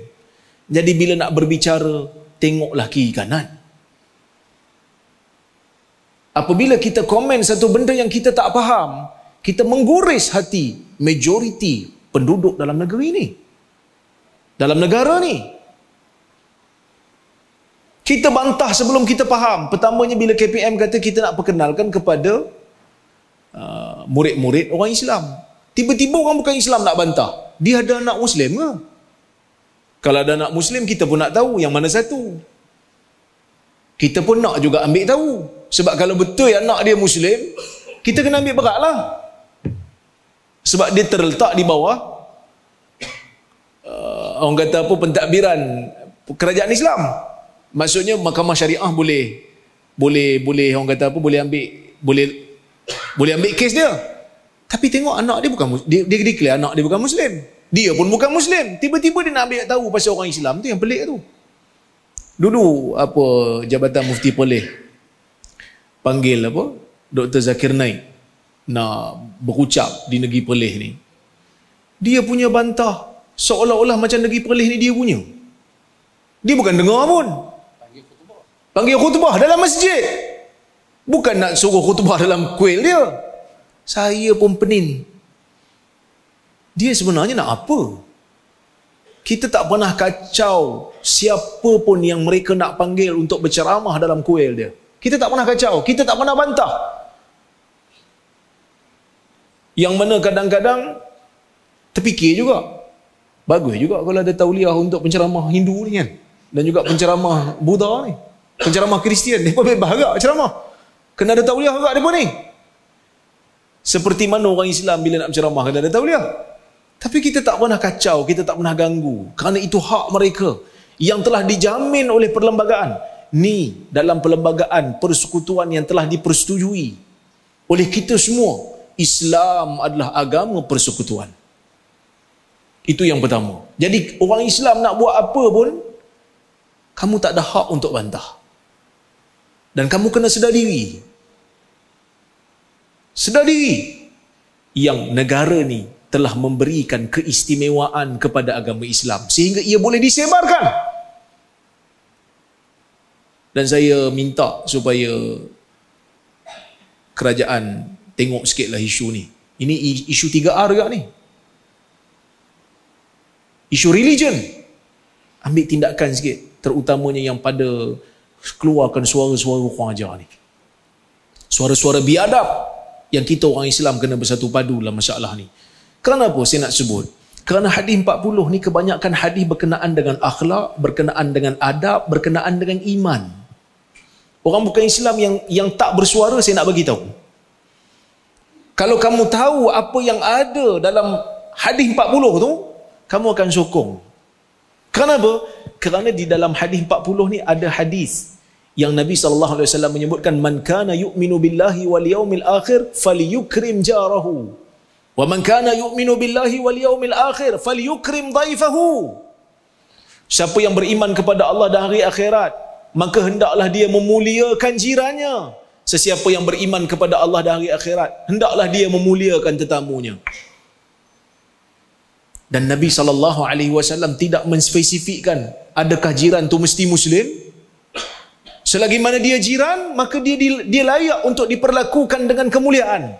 Selagi mana dia tetamu agama suruh dia memuliakan tetamu. Tanpa mengira dia muslim ataupun bukan muslim sebab itu Nabi sallallahu alaihi wasallam ketika ditanya oleh Asma Asma binti Abi Bakar Asma binti Abi Bakar ketika ditanya ketika dia bertanya kepada Nabi SAW mak dia yang bukan muslim datang nak berhubung dengan dia, berhubung silaturahim dengan dia. Dia tanya Nabi sallallahu alaihi wasallam. Boleh tak saya memuliakan ibu saya? Dia bukan Islam. Apa Nabi kata? Sili ummak. Hubungkan silaturahim bersama ibumu. Sehingga Allah Subhanahu wa taala turunkan ayat la yanhaakumullahu 'anil ladzina lam yuqatilukum fid din wa lam yukhrijukum min diyarikum an tabarruhum wa tuqsitu ilaihim. Allah tak larang kamu untuk melakukan kebaikan dan melakukan keadilan kepada orang-orang bukan Islam yang tidak memer- yang tidak menghalau uh, yang tidak memerangi kamu dalam agama dan tidak menghalau kamu keluar daripada kampung halaman kamu. Maksudnya kalau orang bukan Islam, dia tahu isi kandungan. Dia tahu isi kandungan hadis 40, dia pun akan sokong. Dia pun akan sokong. Muslim akan menjadi Muslim yang baik. Habis itu ada Muslim yang jadi pengganas tu, IS tu, ISIS. Muslim yang jadi pengganas tu, tak sampai satu peratus pun daripada bilangan Muslim seluruh dunia. Bila kita nak baca hadis Nabi sallallahu alaihi wasallam, kita baca betul-betul, tengok isi kandungan dia apa yang ada dalam tu. Baru kita bantah. Kalau betul-betul ada baru kita bantah. Kalau ada yang tak berapa nak clear, tanya. Yang ni apa? Kenapa hadis ni macam ni? Kerana hadis yang nombor 8 tu yang dia bantah. Sebab dalam hadis nombor 8 tu disebut umirtu an uqatilan nas. Aku diperintahkan untuk uqatilan nas untuk memerangi manusia hatta yashhadu an la ilaha illallah wa anna muhammadar rasulullah sehingga mereka menyaksikan bahawasanya tiada Tuhan yang disembah melainkan Allah dan Muhammadlah Rasulullah. Hadis ni yang dipersoalkan. Bukan kata orang bukan Islam aja. Orang Islam pun ada yang bangkitkan hadis ni. Dia suruh kita fikir. Fikir, adakah budak-budak kecil nak disuruh untuk berperang? Pertama saya nak bagi tahu, Islam ni agama realistik. Agama yang bersifat realistik. Dia bukan agama khayal yang tak boleh diamalkan. Kalau kita baca sebahagian daripada scripture agama-agama yang bukan Islam, kita nampak macam baik sangat. Tapi bila kita nak pergi kepada praktikal, tak boleh. Kerana ada sebahagian scripture yang menyebutkan kalau orang nak curi pakaian kamu, kamu bagi lagi. Kerana kamu sayang kat dia. Kalau dia tampar pipi kanan kamu, beri pipi kiri untuk ditampar. Boleh ke kita buat? Orang datang rompak, rompak rumah kita. Dia ambil semua duit yang ada dalam rumah kita. Kita kata, Tuan, dalam peti besi ada lagi. Logik ke? Dari sudut teori boleh buat. Tapi dari sudut praktikal tak boleh. Maka sebab tu dari sudut praktikal, Islam ni praktikal. Hadis ini adalah hadis praktikal. Umirtu an uqatilan nas. Aku diperintahkan untuk uqatil. Uqatil daripada perkataan qatala yuqatilu dia mesti ada mufa'alah dia mesti ada interaksi di antara dua pihak ataupun lebih kalau kita tengok dalam hadis Nabi SAW waktu Nabi sampai ke Madinah adakah Nabi perintahkan untuk bunuh semua orang Yahudi yang ada kat situ? Ada Nabi kata wahai orang Ansar wahai orang Muhajirin mari kita mengaku saudara. Ah mana-mana yang bukan Muhajirin yang bukan Ansar kita bunuh beramai-ramai. Yang berlaku dalam sejarah pembunuhan beramai-ramai ialah Spain Inquisition. Yang berlaku pembunuhan beramai-ramai bukan Muslim. Salahuddin ketika berjaya membuka Baitul Maqdis tidak ada yang diperangi kalau mereka tidak memerangi Islam. Yang berlaku ketika mana Muslim menguasai Baitul Maqdis semua diberikan hak untuk beragama. Bahkan kita semua tahu agama yang dianuti secara paksa tidak sah. La ikraha fid din kan? Tidak ada paksaan dalam beragama. Tak sah orang kita paksa dia beriman. Hang beriman, dak aku rodok buang. Tak boleh. Tak sah iman dia. Kerana iman ni i'tiqadul jazim, benda yang terbuku dalam jiwa, dilahirkan pada lidah dan dibuktikan dengan amal. Kita belajar bab iman ni. Nabi tak bunuh orang Yahudi yang ada dekat Madinah tu. Walaupun akhirnya diperangi juga kerana mereka yang memulakan permusuhan. Mereka yang memulakan permusuhan. Jadi bila orang dah bermusuh dengan Nabi sallallahu alaihi wasallam, orang mulakan serangan terhadap Nabi sallallahu alaihi wasallam. Waktu Nabi dekat Mekah, Nabi tak ada negara. Sumayyah dibunuh, Yasir dibunuh, berapa orang lagi dibunuh, ada yang diseksa. Khabbab diseksa. Nabi tak ada negara. Jadi Kalau lawan akan menyebabkan lebih ramai akan binasa dan terkorban. Tapi bila Nabi dah mula ada negara, sudah mula jadi pemimpin, normal, mana-mana negara pun secara logiknya dia mesti ada sistem pertahanan dia. Dia mesti ada tentera, dia mesti ada polis. Supaya kedaulatan negara tu dapat di dipelihara. Bila Nabi kata umir tu an uqatilan nas, maka ada dua tafsiran di sisi ulama.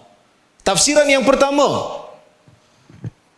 nas yang dimaksudkan yang dimaksudkan dekat situ ialah manusia yang alif lam tu alif lam lil ahdi. Manusia yang Nabi sedang maksudkan ketika berperang waktu tu. Macam kita jumpa kawan kita kan, kita kata, eh, hang buat apa? Ramai orang cakap pasal hang ni.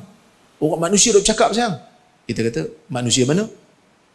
Manusia kat Amerika tak cakap pun pasal aku. Manusia juga. Kita kata manusia yang aku maksudkan ni manusia yang kenal lah. Ha, maksud manusia yang dimaksudkan oleh Nabi SAW tu ialah orang yang Nabi sedang berperang dengan dia. Yang memulakan serangan. Dan perkataan uqatil tu pun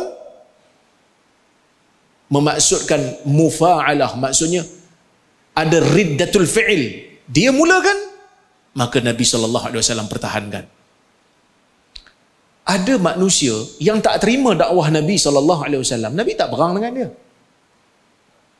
Rom umpamanya di peringkat awal ketika mana Nabi SAW memberi surat kepada Heraklius. Nabi kata apa kat dia? Aslim taslam. Nabi kata assalamu ala man ittaba'al huda min Muhammadin Abdullah wa rasulih ila hirqal azimir rum aslim taslam yu'tika Allahu ajraka marratain Assalamu ala man ittaba'al huda salam sejahtera ke atas mereka yang mengikut petunjuk. Ni surat ni daripada Muhammad hamba Allah dan ha, apa ni Abdullah wa rasul uh, min Muhammadin Abdullah wa rasul. Hamba Allah dan rasulnya kepada Heraklius orang besar Rom aslim taslam masuk masuk kamu dalam Islam kamu akan selamat. Moga Allah memberikan pahala kepada kamu dua kali. Ada macam-macam tafsiran lah. Bab ni. Kenapa dua kali tu? Saya tak mau masuk bab tu. Cuma apa yang berlaku bila Heraklius dapat surat Nabi? Dia panggil Abu Sufyan. Dia panggil Abu Sufyan dan rombongan Abu Sufyan. Tak tahu siapa dia nak verify. Ni yang Datuk Mufti sebut tadi nak verify. Kena fikir. Bila orang datang bagi surat, nak verify dulu. Betul ke? Dia ni siapa? Ya, oh, Heraklius ni orang bijak ah. Sebab dalam agama Kristian, Heraklius ni bukan calang-calang orang. Dia pun ada ilmu juga. Dia pun panggil. Dia kata siapa kita nak panggil ni? Dia ni surat ni datang daripada semenanjung Arab. Daripada daripada Madinah. Jadi dia pun tengok dekat kawasan jajahan dia, oh ada orang Arab datang. Tapi daripada Mekah.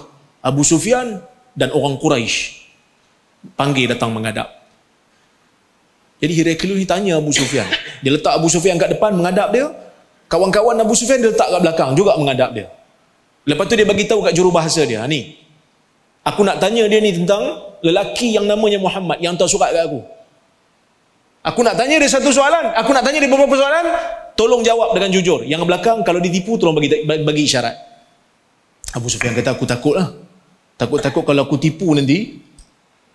Dia orang, dia orang bagi isyarat. Bohong, bohong. Kan? Sebab aku sedang berdepan dengan Maharaja Rom.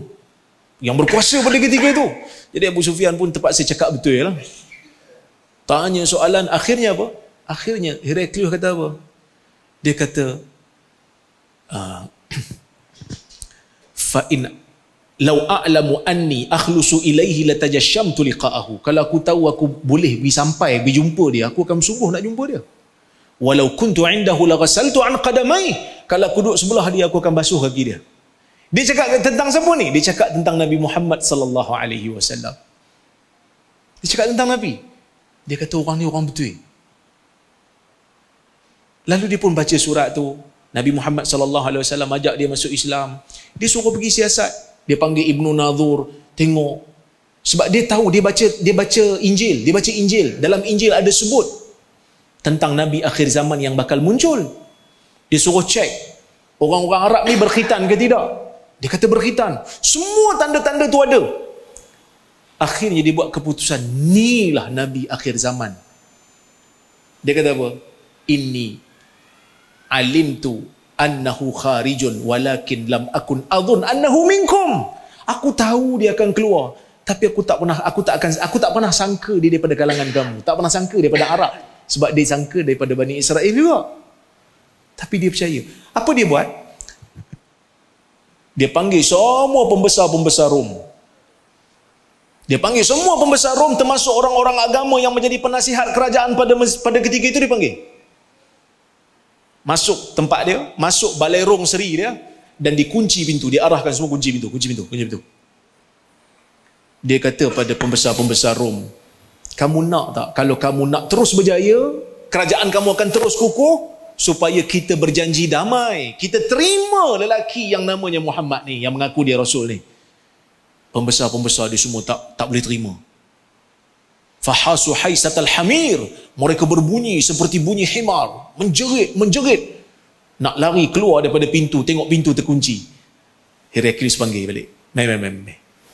Dia tahu dah. Pembesar dia tak mau terima. Kerana nak mempertahankan jawatan dia, dia kata, aku saja je nak test keimanan kamu. Sebenarnya kamu kuat berpegang dengan Kristian. Bagus. Tak jadi dia beriman. Walaupun asalnya, dia tahu dah tapi dia tak dia tak jadi beriman. Adakah Nabi pergi hantar tentera sebab dia tak terima? Tak ada. Tapi akhirnya Nabi berperang juga dengan Rom. Pasal apa perang? Sebab Rom yang bunuh utusan Nabi sallallahu alaihi wasallam.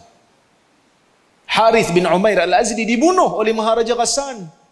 Maka sebab tu ber, berlaku peperangan. Sebab zaman tu utusan kerajaan tak boleh dibunuh.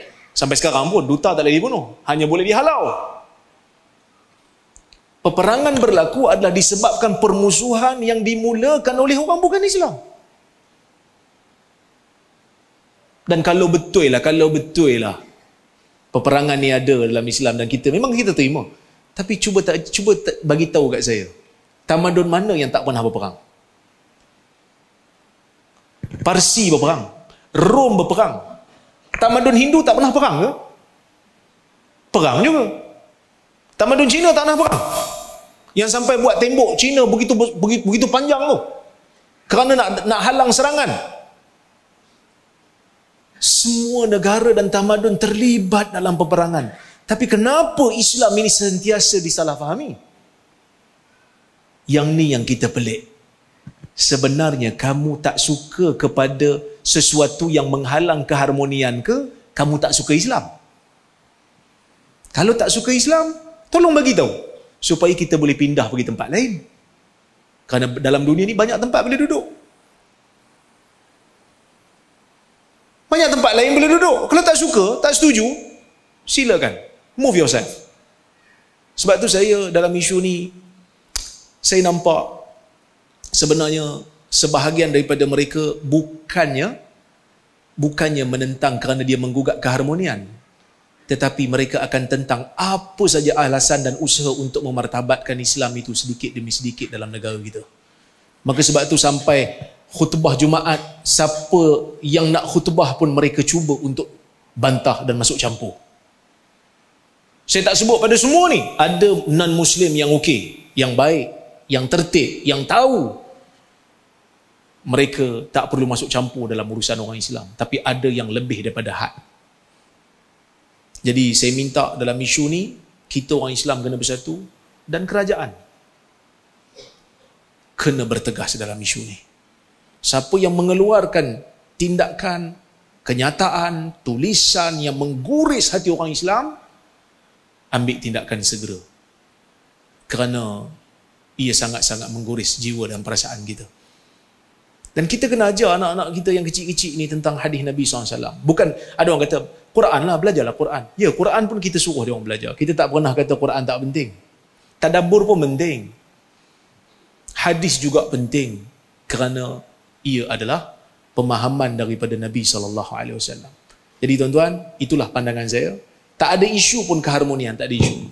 Kerana kita selama ni belajar di Masjid Hadis 40, tak pernah orang masjid pergi berpecah dengan orang lain dalam kampung orang Islam. Selagi mana mereka faham Islam dengan sebenar-benarnya. Wallahu ta'ala alam bisawab. Okey, Alhamdulillah kita telah mendengar pencerahan tentang polemik hadis 40 yang saya rasa akan terus mendapat respon selepas kita membuat potongan video nanti.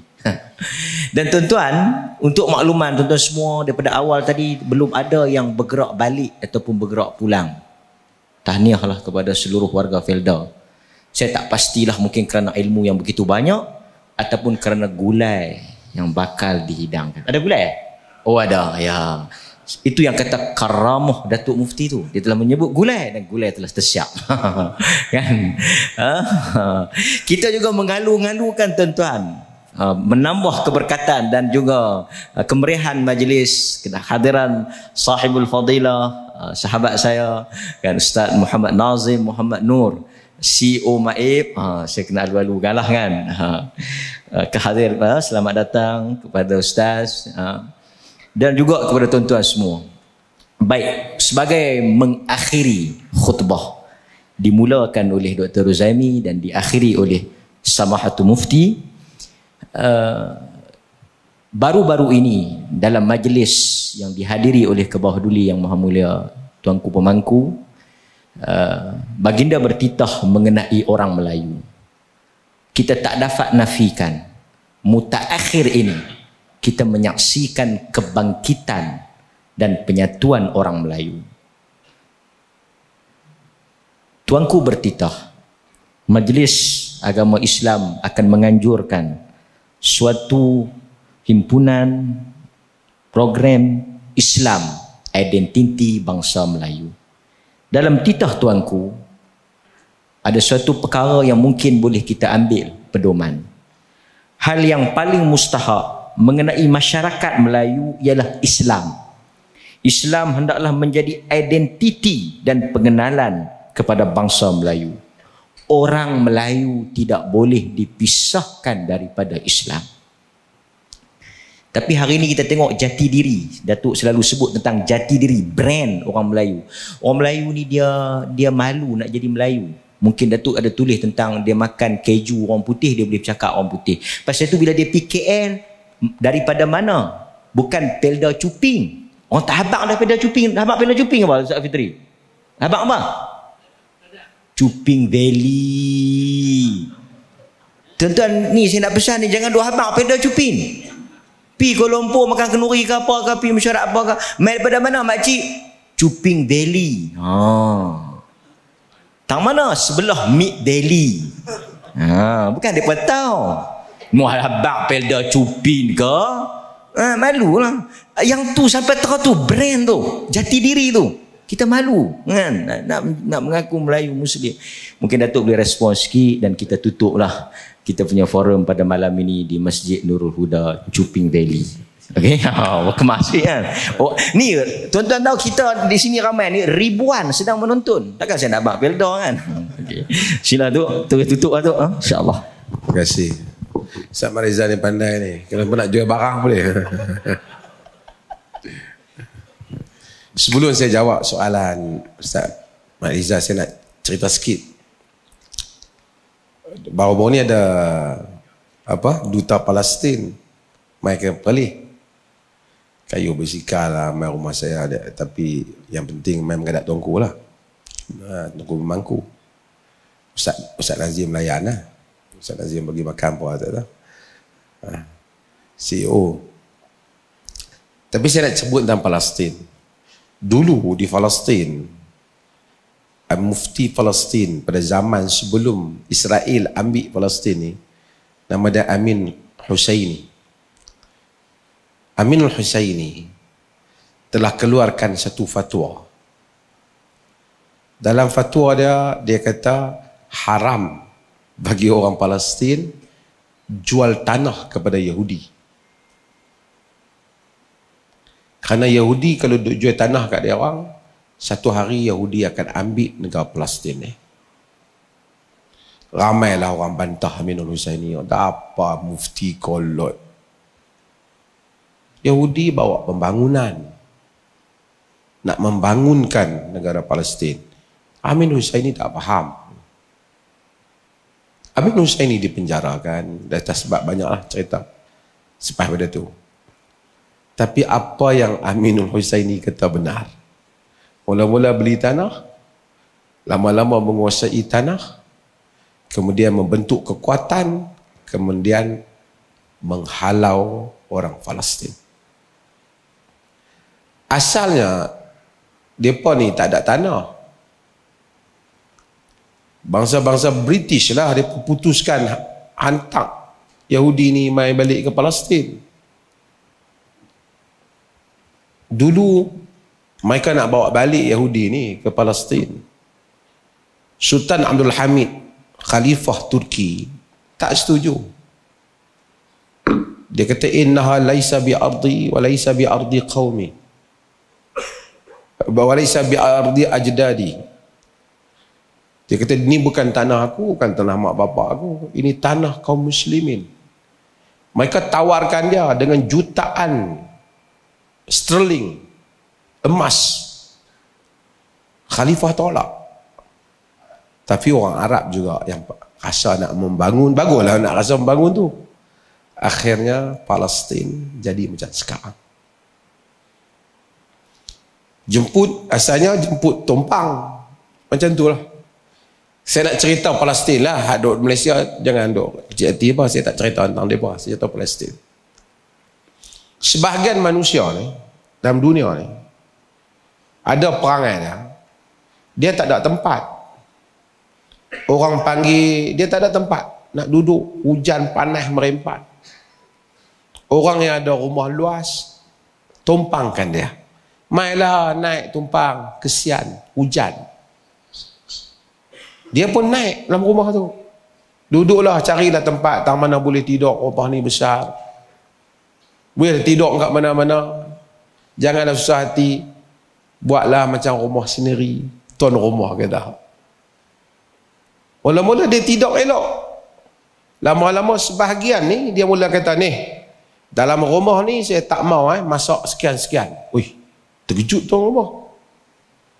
Ha, dalam rumah ni saya tak mau lah. Hampa nak pergi semayang kamat kuat-kuat. Eh. Kita kira dalam rumah ni hak kita sama. Kita tak boleh lah kami asal rumah ni. Kami orang Islam. Tak boleh. Kami tak mau. Benda macam tu. Asalnya dia menumpang lah. Lepas tu dia jadi macam tu. Yang tu berlaku kat Palestin lebih pada tu lah. Dan sebagian manusia macam tu. Kita tidak ada isu dengan orang-orang non-Muslim yang insaf ataupun yang mempunyai sikap yang santun dan memahami realiti di mana bumi dipijak, di situ langit dijunjung. Orang-orang Islam duduk di negara China, dahsyat keadaan mereka, masjid diroboh dan berbagai lagi. Kita tak setuju pun orang Islam duduk negara China tak bersaing untuk mengambil kekuasaan di negara China. Di India lagi dahsyat. Tak boleh, lembu tak boleh makan, semelih tak boleh lembu. Walaupun di kampung mereka sendiri dipukul sampai mati. Menteri di India kata tidak ada persamaan hak kerana Muslim tak sama dengan India. Muslim itu darjat dia rendah Padahal tuan-tuan tahu berapa ramai orang orang Islam di India? 300 juta. Dirogol, dipukul, dibakar masjid, diruntuh. Atas dasar, ini negara ada. Identiti je Hindu. Kita tak bersetuju hal itu dan kita tak buat hal itu di negara kita. Sekian lama orang non-Muslim hidup dalam negara ni macam saya beritahu, duduk di kampung orang Islam Orang Islam tak payah ceramah pun. Orang Islam tahu. Tak boleh buat pada orang lain zalim pada orang. Kalau ada non-Muslim dipukul di jalan kerana dia non-Muslim, semua orang Islam akan bantah. Betul tak? Semua Islam akan bantah.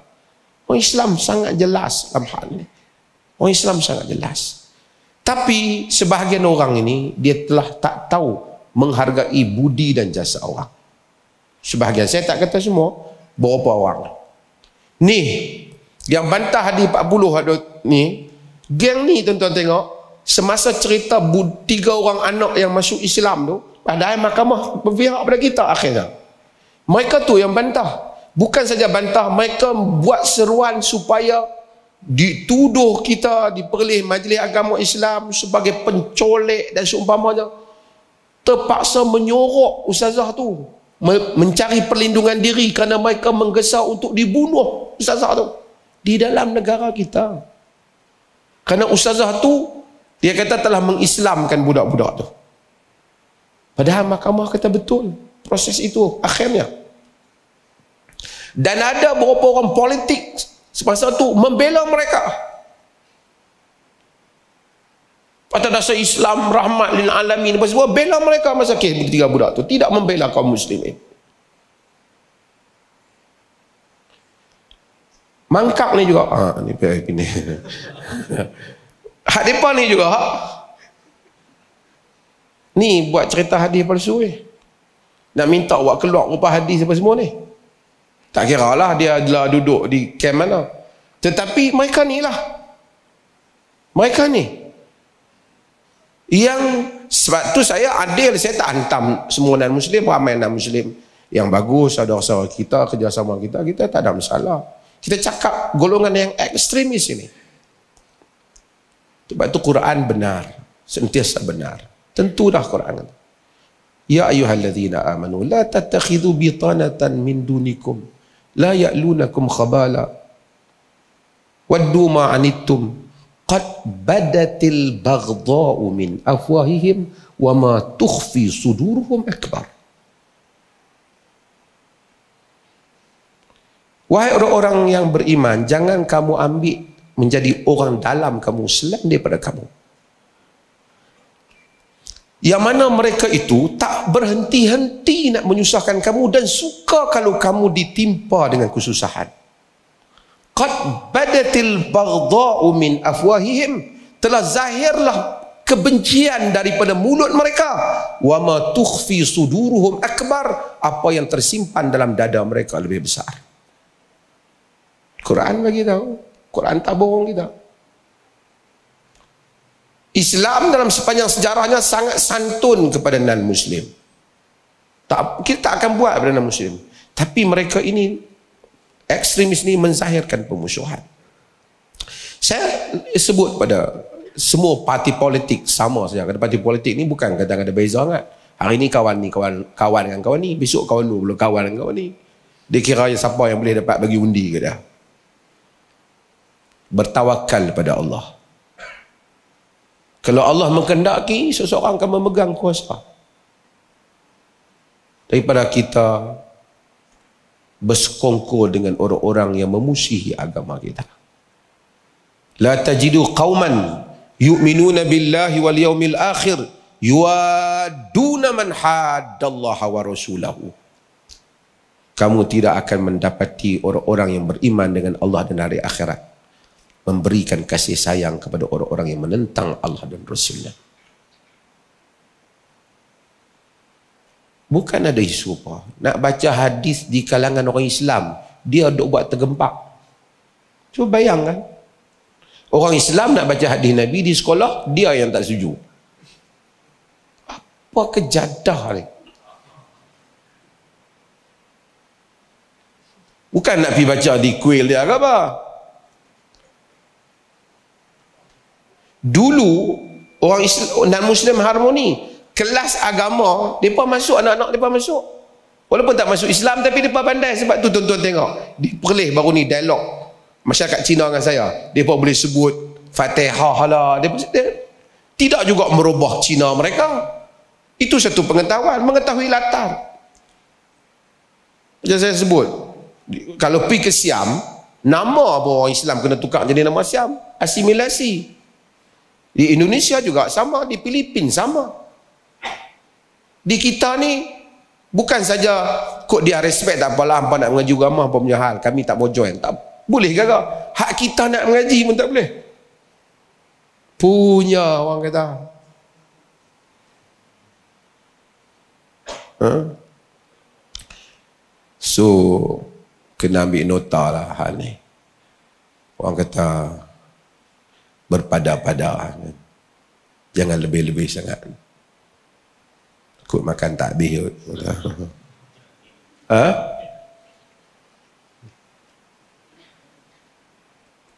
Boleh kata orang baik kalau. Tak ada. Di Malaysia ni, tak usah dah buat cerita lah. Kau ada orang bu- orang bukan Islam kena nanya dengan orang Islam, kemudian orang Islam sokong. Tak akan ada. Orang Islam sentiasa Islam. Sebagian ahli politik eh, duduk ceramah selalu seolah-olah macam ceramah ni orang Islam je yang ekstrim. Seolah-olah. Cuba tengok ceramah dia. Orang Islam nak menindas ekstrim. Banyaklah negara ni siapa kena kata bukan semua orang non muslim, ramai non muslim yang ekstrim juga. Berani. Dulu Jawi tuan-tuan, tulis Jawi ni bukan ada ubah apa. Kedai Cina pun ada yang tulis Jawi. Kedai ubat sengsi dia tulis. Wapam satu dua muka surat macam perang dalam negara ni. Pasal tulisan Jawi. Jalan nak tulis Jawi tak mau. Setara tu man, adalah mangkuk mana kata tak apalah. Kita ini keharmonian. Tapi kalau kalau kena yang mereka tu kalau orang bukan Islam cakap macam ni kita tak dengar. Orang kata ini ekstrim. Kita tak dengar orang politik kita kalau orang Muslim kritik sikit non Muslim kita tak boleh biarkan politik ekstrim ataupun pandangan-pandangan ekstrim dalam negara kita. Ah, come on lah. Ah. saya tak menyokong ekstrim mana-mana pihak pun. Tapi oh, tak simbang politik. Baru nak balik soalan Ustaz Mat Rizal tadi. Kena sebut sikit lah benda ni boleh Ustaz Fitri no? Orang Melayu. Islam ni dia bukan agama kaum dia bukan agama orang Melayu. Islam adalah agama semua orang. Allah jadikan kita semua Nabi kata la fadla li arabiyyin ala a'jami wala a'jami ala arabi. Tidak ada lebih orang Arab atau orang Ajam orang Ajam atau orang Arab dalam hadis Imam Ahmad. Tidak timbul soal satu bangsa lebih utama daripada bangsa lain. Tetapi setiap bangsa itu adalah adalah keistimewaan di tempat dia. Sayyidina Umar bin Khattab radhiyallahu an walaupun ada ayat Quran sebut tentang al-anfal harta rampasan perang. Yasalunaka anil anfal. Ayat tu Ustaz Nazim selalu baca. Surah anfal surah harta rampasan perang. Tapi bila ditawan negara Iraq Omar tak bagi tanah-tanah Iraq tu kepada tentera Syawat Iraq tu dia tak bagi pada tentera. Sebab apa? Dia tak mau nanti anak-anak orang Iraq hak mai kemudian rasa macam orang Islam penjajah. Ambil habiskan pak-pak depa. Dia kekalkan dia ganti untuk tentera. Bagi menghormati anak negeri itu dan perasaan mereka. Dan perasaan mereka. Nabi sebut al-a'immatu min Quraisy pemimpin di kalangan Quraisy. Sebab apa? Quraisy lah yang dominan dalam kawasan itu. Quraisy yang utama dalam kawasan itu. Kalau orang lain jadi, dia tak boleh nak stabil. Nabi kata, As-sama wa ta'ah wa in ta'ammara alaikum abdun habashi dengar dan taat walaupun kalau jadi pemimpin kita habashi pun taat tapi dalam konteks pemilihan cari Quraisy sebab Quraisy dominan di Mekah di Madinah. Latar politik itu diambil kira. Diambil kira. Bukan kerana kaum itu lebih baik pada kaum ini. Tak. Untuk kestabilan. Kawasan kita ini ialah kawasan orang Melayu Islam. Maka adatnya adat Melayu. When you in Rome do what Roman do. Bila kamu duduk di dalam Rome kamu buat apa yang orang Roman buat orang pun kita pergi uh, uh, British, pergi UK, cakap orang putih lah. Pergi negeri Arab, budayanya Arab lah. Sebab tu Allah kata inna khalaqnakum min zakarin wa untha wa ja'alnakum syu'uban wa qabaila li ta'arafu. Kami jadikan kamu apa nama daripada dan wanita berbangsa-bangsa berpuak-puak supaya kamu kenal mengenali. Kamu kenal budaya dia. Nabi bila pergi ke Madinah, Nabi tengok, pergi hadir dalam majlis, kahwin, senyapnya. Nabi kata, Ama ma'akum lam, fa innal ansar yu'jibuhumul lam. Tak ada ke nyanyi-nyanyi, Nabi kata, ansar bukan suka menyanyi. Kerana Nabi tahu itu culture setempat dia. Dia suka menyanyi. Nabi tak kata, oh no no, you follow Mekah ya. No, this is Ansar land. Tanah orang Ansar. Ini land. Tak apalah. Benda yang tak bercanggah dengan kemanusiaan semua. Latarnya demikian. Itu satu. Dulu orang masalah. Pakai songkok jadi masalah pakai baju Melayu jadi masalah. Ah, come lah. Ha? Okey. Orang Melayu, apa yang tuanku sebut baru ni, bermaksud bahawasanya, kita orang Melayu ni macam mana pun kita jangan tinggalkan Islam. Itu maksudnya. Bukan maksud Islam tu Melayu. Tak maksudnya orang Melayu, identitinya Islam. Alhamdulillah dalam negara ni orang Melayu tak ada yang pergi jadi Kristian ke jadi agama lain. Adalah hak meletup sikit view satu dua tu tapi itu bukan bangsa itu keseluruhannya. Tak ada family Melayu yang Kristian. Daripada 15 11 Alfonso di Abu masuk ke dalam di Melaka tidak ada orang Melayu sampai hari ini ada missionary schools ada macam-macam tapi tak ada orang Melayu tukar jadi Kristian. Terang mana tu style Mak Saleh kata Ustaz Mariza pun mungkin ada na'udzubillah minum, minum tunggang langgang pun nak mati kalau kata hang kapiak dia marah. Dia marah. Islam je dia kata dia Islam. Hak jahat tu dia. Omik. Saya pergi ke Riau, saya sebut, sebut. Saya pergi ke Riau, Gubernur Riau kata, Riau ni wilayah Islam. Riau, Indragiri, Siak, semua. Orang Melayu, etnik Melayu. Pun ada Jawa, pun ada macam-macam. Etnik Melayu, bukan Jawa. Dalam rekod mereka, tak ada yang menjadi agama lain. Semuanya Islam. Maksudnya, Allah tak takdirkan orang Melayu ni daripada dulu sejak dia masuk Islam, dulu dia ubah daripada Hindu dia jadi Islam, sejak itu dia tak pernah tukar dah. Dia kekal sebagai Islam. Ini satu benda yang Alhamdulillah. Dan titah tuanku tu bermaksud kita nak yang ini kekal. Islam. Kok mana orang Melayu pun kalau dia nak ber, berbudaya, budaya dia berteraskan Islam. Nak berniaga, berniaga dia berteraskan Islam. Nak berseni, seni dia teraskan Islam. Nak bernegara, negara dia teraskan Islam. Dan insya-Allah Data titah tuanku itu akan buat satu kongres besar Islam identiti Melayu di negeri ini dan saya dipahamkan daripada Yang Amat Muhammad Menteri Besar. Semalam sembang kerajaan negeri akan jadikan itu program besar kerajaan negeri. Menghimpunkan tokoh-tokoh Melayu Islam.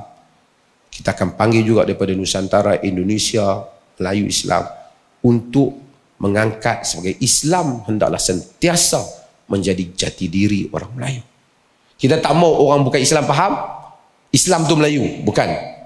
Tapi kita nak faham, orang Melayu faham, orang Melayu mesti kena ikat diri dengan Islam.